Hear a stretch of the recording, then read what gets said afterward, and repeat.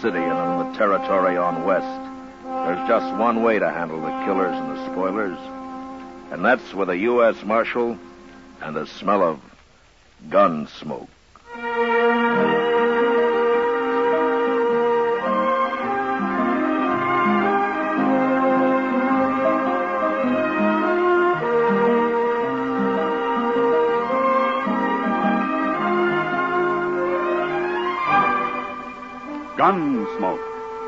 Story of the violence that moved west with young America. The story of a man who moved with it.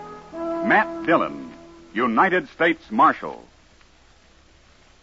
Say, if there ever was a cereal designed to boost a family's breakfast morale, it's new Sugar Crinkles. Why, that sugar rice treat that's just right sweet makes breakfast more fun than a circus.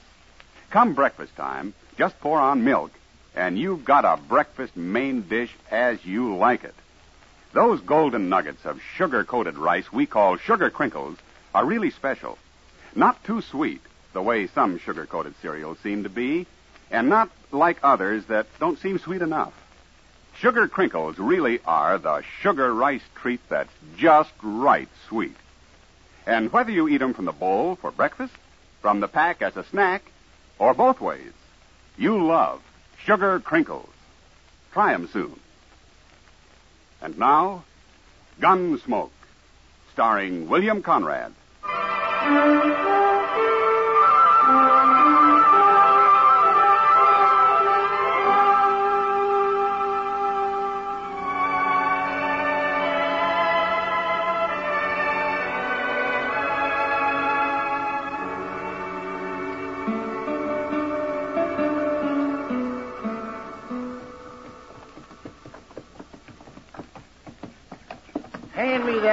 Bottle, Zach. Been a long, dusty trail up from Texas. I don't care to ride into Dodge sober. Hey on that. Uh, Now don't kill it. I come up the same trail you did. I'm just as dry. ah, uh, I hope I never see another moss-horn steer. Now, I'm going to settle down and be a bartender or something easy like that. Tomorrow you'll wish you was back trailing cattle. You wish you never seen Dodge. Hey, come on, my turn on that bottle. So by tomorrow, maybe there won't be no Dodge. Maybe we'll have torn it plumb apart. Oh. yeah. Hey, hear the cougar howl tonight. Yeah. hey, then look yonder. What? That there's Alafragansett. Let's start with it. Tell them we're here, Zach. Show them how we live in Texas. Ah.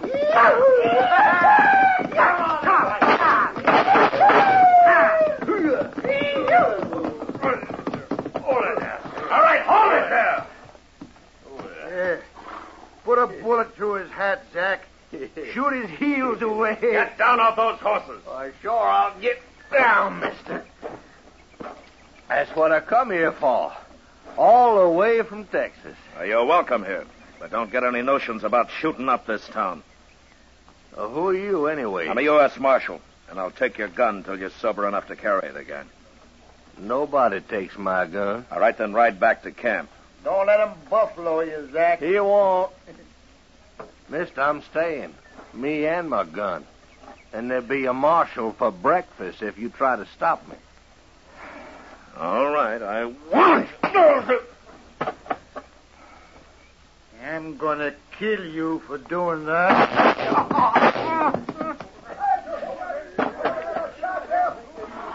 That was awful close, Mr. Dillon. I saw the whole thing. Yeah, another drunken cowboy with more fire than sense. Well, you oh. had to kill him. Yeah. Take his gun, Chester. Yes, sir. Give me that. Don't shoot me. No, nobody ain't gonna shoot you, mister. Get on your feet. Yeah, come on, get it. Oh. Busted my head. You'll be all right. But your friend tried to shoot me. He's dead. Huh? You killed him. To keep him from killing me. There'd be trouble about this, Marshal. No. Don't you get anything like that started. Oh, not me. His brother, Howard Bulow. He's out the camp. I know him, Marshal. He'd come after you. All right, I'll be here. It won't be like that. Howard wouldn't face no gunfighter. He shoots you in the back or from alley at night. I know him, Marshal. It'll happen. You want to bury your friend here or take him back to camp? I'll take him back to camp. All right, we'll help you tie him across his horse. We can use his rope, Chester. Yes, sir.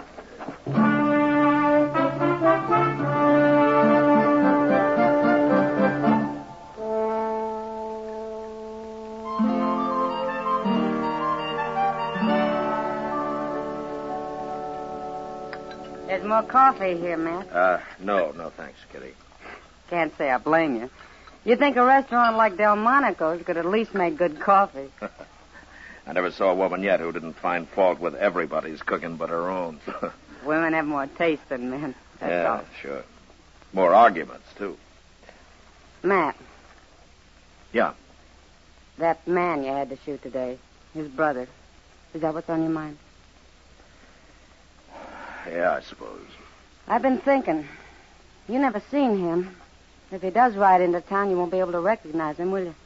Well, let's say you'll probably be the first man who tries to shoot me in the back. Oh, Matt. Now, don't worry about it. It's been tried before. I'm still around. Come on. Let's get out of here. Okay. Sure.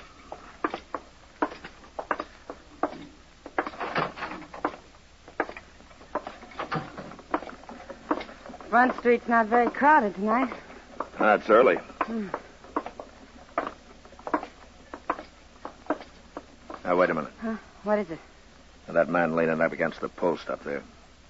Wait till he turns his head. I want to get a look at him. Someone you're after, Matt? Yeah, there. Yeah. No, it's someone who's after me. Bulow's brother. Are you sure? I'm pretty sure. Sure enough to ask him anyway. You stay here. All right.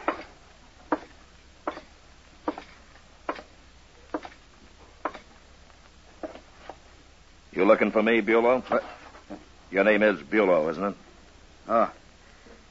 I'll bet you're him. I'll bet you're the marshal. I am. I'll take your gun now. Well, take it. All right. That won't stop me. You'll get another gun and shoot me in the back. Is that it? Any way I can, Marshal. Look, Bulow, your brother tried to kill me, and he'd have done it if I hadn't stopped him. Ain't nobody kills a Bulow and gets by with it. I don't care what he done. Well, maybe you need a few days to think it over. Maybe that'll help. I ain't got a few days. You have now. Turn around and walk straight ahead of me, Bulow. You're going to jail for a while. No, I ain't done nothing. Turn around. And get moving.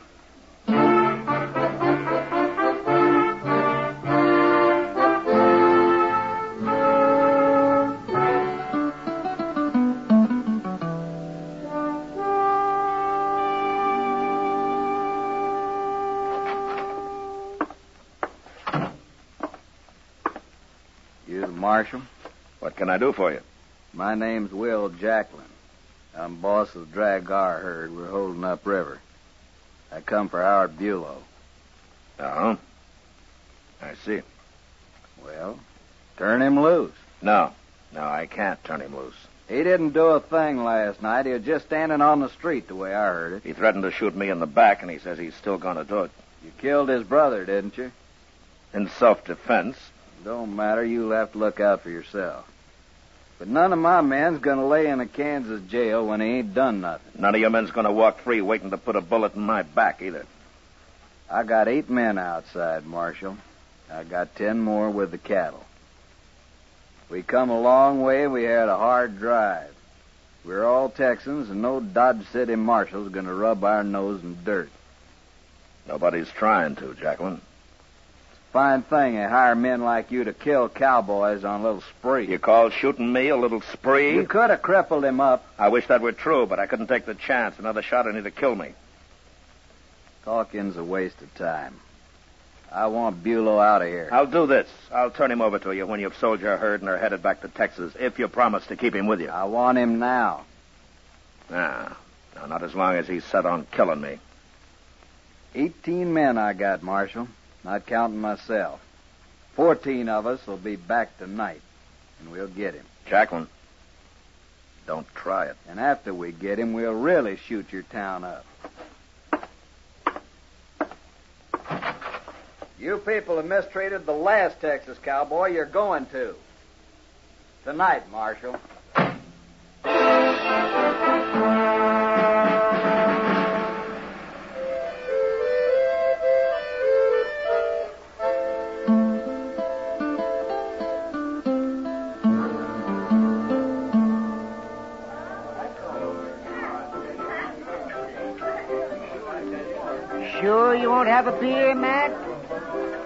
I'll even buy you one. Do you good? I can't be drinking now, Doc. Oh, Matt, I don't think they'll ride in like that tonight. Those cowboys always talk big. Yeah, maybe. And maybe they're just full of vinegar after the long drive they've had, huh? now they want to hoop and holler something.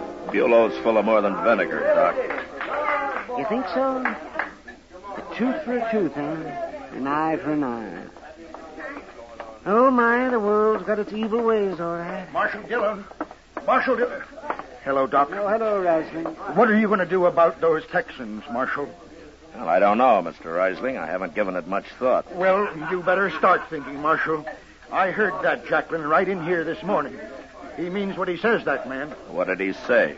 They're going to destroy Dodge. That's what he said. Him and all those wild Texans he's got. Mr. Reisling, the man I got in jail aims to shoot me from ambush if I turn him loose. But I can't help that. Well, I can. And he's staying where he is until he comes to his senses. But what about the rest of us? It's all right for you to save your own skin, but what about us? They'll shoot up the town and maybe burn my hotel down. Oh, now, don't get all excited, Mr. Reisling. It won't help matters any. Look, why don't you just forget about it? Jacklin may never show up at all. Oh, that's what I come to tell you. What? Frank Paris rode by the Dragar camp a little while ago, and he says those men were just about to leave for Dodge. That means they'll be here any minute. Now, what are you going to do?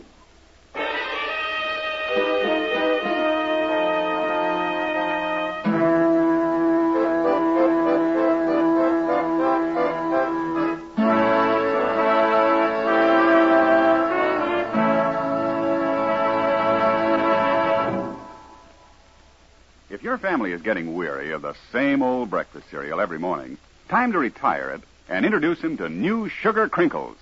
Say, new Sugar Crinkles is the sugar rice treat that's just right sweet. And I'm here to tell you, Sugar Crinkles make breakfast more fun than a circus. Golden crisp nuggets of sugar coated rice, and every nugget in your breakfast bowl just right sweet. Forget your experience with sugar coated cereals that seem too sweet and with others that don't seem sweet enough. Treat yourself and your favorite family to new Sugar Crinkles at breakfast time and at snack time, too.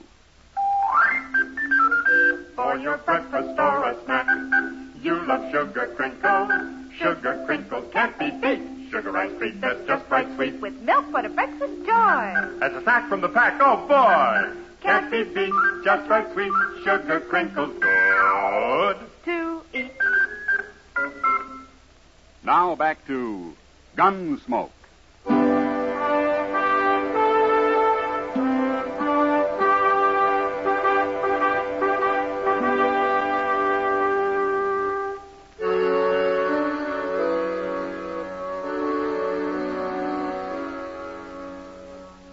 I left the Yellow Braganza and walked over to the jail to wait for Jacklin and his mob of cowboys. There, I tried to have a talk with Bulow. But the only response I could get out of him was the same. He was going to kill me the first chance he got. Well, maybe Doc was right. Maybe the hard life of the cattle trail did drive men a little mad. Anyway, it was a poor choice they'd given me. And I didn't like it. You'll be wanting a shotgun, won't you, Mr. Dillon? Yeah, yeah, thanks, Chester. Here you are. Ah. Uh, Chester. Hmm? You, uh, don't have to get mixed up in this, you know. I know that. My. I think I'm going to take a shotgun, too. Okay. All right, let's wait outside. huh? Yes, sir.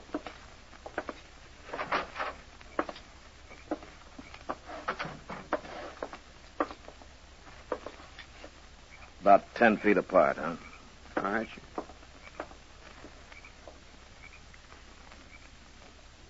come, Mr. Dillon. All of them. Yeah.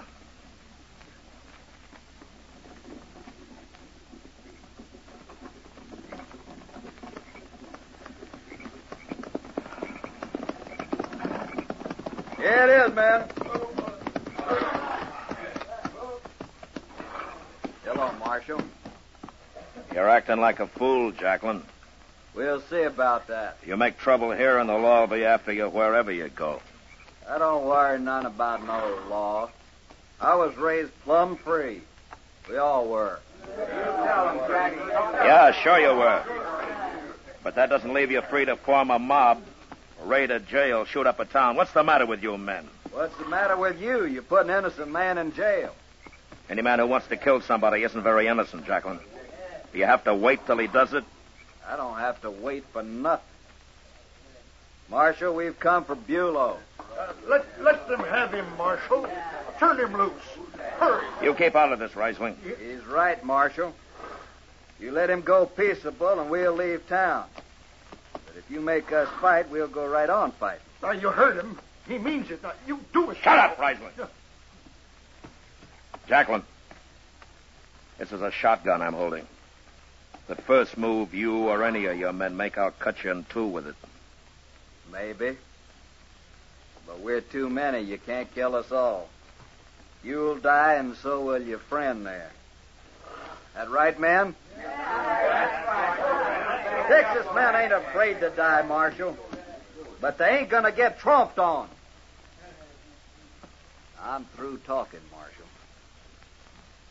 Get set, men. And when you finish him, go rip this town wide open. Do it for me. Chester, Yes, sir. go get Bulow. All right. Oh, thank heaven. You used your head, Marshal. You and I'd both been dead if you hadn't. I'm not doing it because of you or me, Jacklin. I'm doing it because too many other men would have died. Well, it don't matter, as long as you turn him loose. Howdy, Texas. All right, bring him over here, Chester. Well, I knew you couldn't keep me long, Marshal. And you were right, Bulow. You shouldn't have locked me up at all. Go on back to camp. And try to do some thinking while you're there, huh? Sure, Marshal. And you know what I'll be thinking about? You. Sitting next to an open window. Or walking down a dark street. I'm going to kill you yet.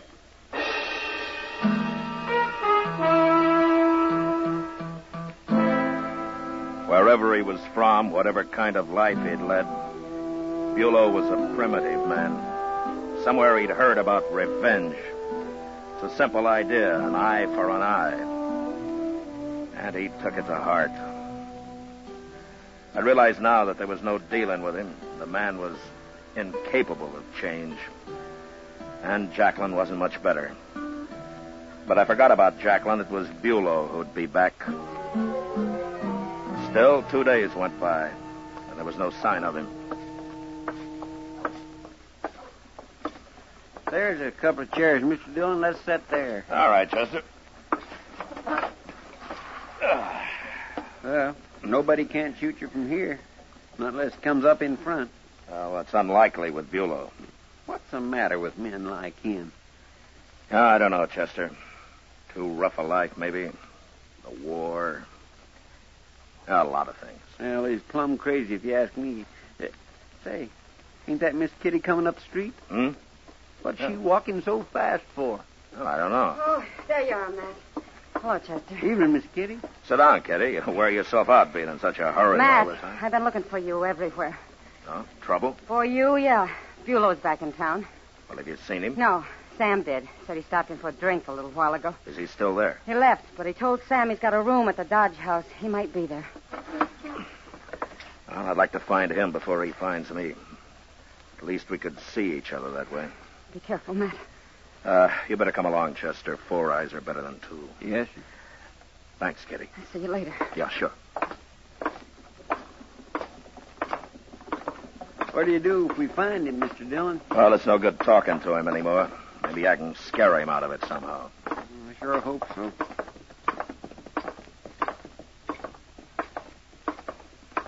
The hotel looks pretty empty from here.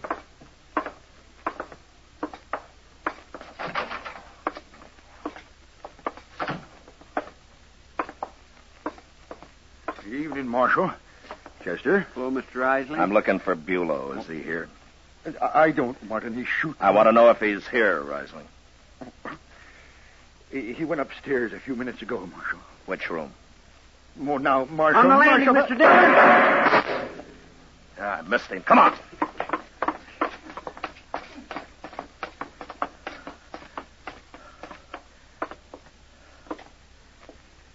Yeah, he's in one of those rooms. Here we've got him now.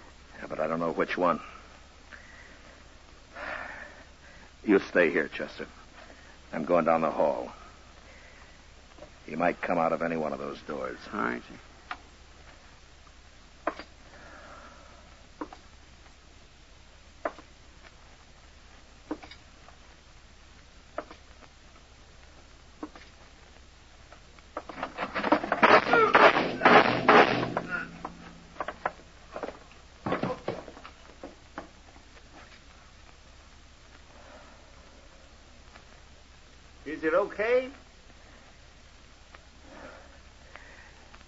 It's okay, Chester.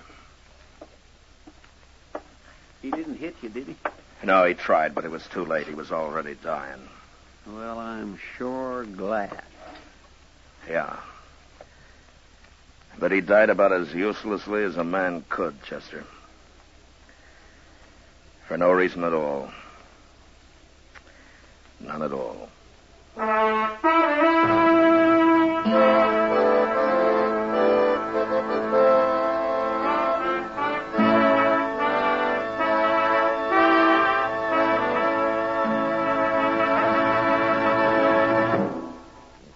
In just a moment, we'll tell you about next week's adventure on Gunsmoke. If you want to be a real good scout, Mom, tell you what you do. See that your whole tribe sits down to post toasties for breakfast in the morning. What a way to start the day for every big and little Indian in your wigwam. You see, post toasties are heap good cornflakes, spankin' fresh, crisp, with that sweet kernel corn flavor toasted right in. It's a feather in your cap to serve 'em. Sure, because Post Toasties are not only the best thing that's happened to corn since the Indians discovered it, Post Toasties are the best thing that ever happened to breakfast. And say, if you want to make a good thing even better, add your favorite fruit to that bowlful of Post Toasties, sugar and milk. Mmm, it's mighty delicious nourishment. Get Post Toasties, the heap good cornflakes, next time you shop.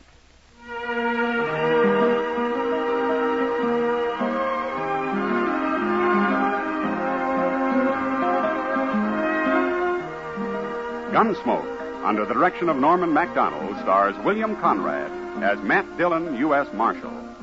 Tonight's story was especially written for Gunsmoke by John Meston, with music composed and conducted by Rex Koury.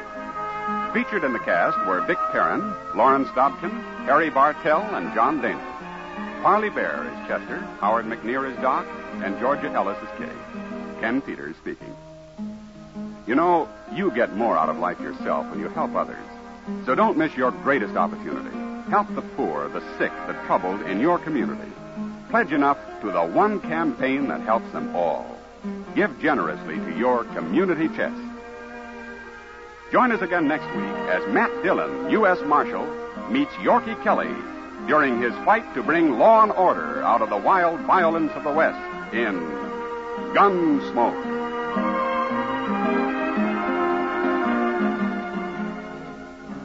Listen next week at this time when Gunsmoke will be brought to you by Post Toasties, the heap good cornflakes.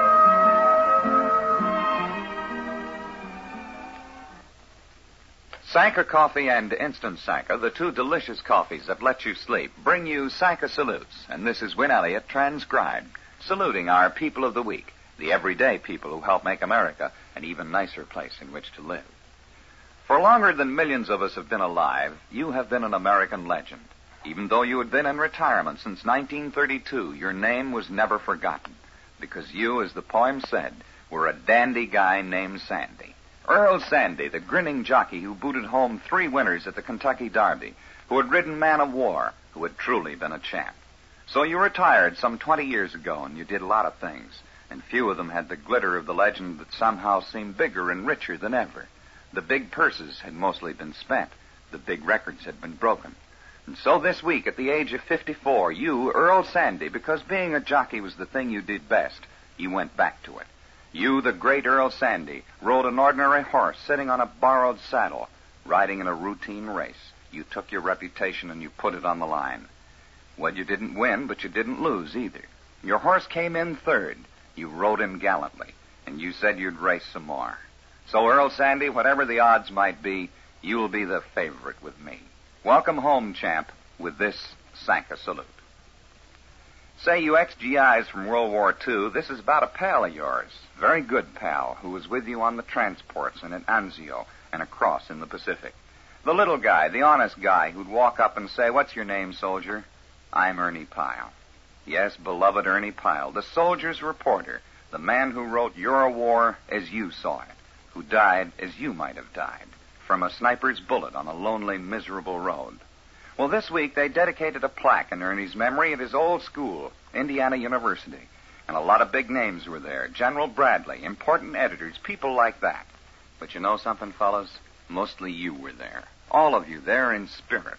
The plain GIs whom Ernie Pyle immortalized, and who will never forget him.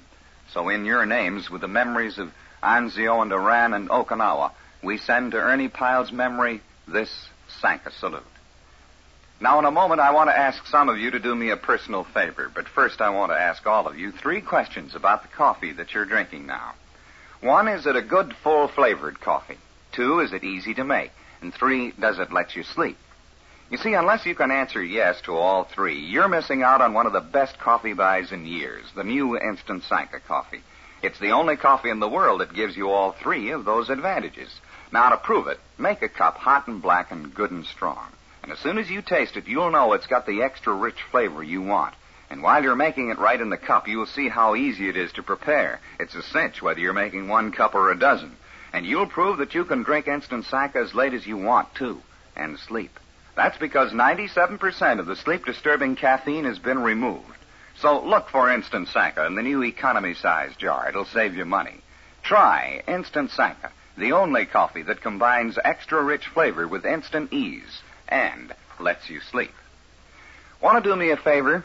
Well, if you live in Haverstraw, New York, or if you're passing through, ask someone where you can find a blind old Airedale named Rags. And when you find her, give her a pat from me and maybe a hunk of hamburger, too.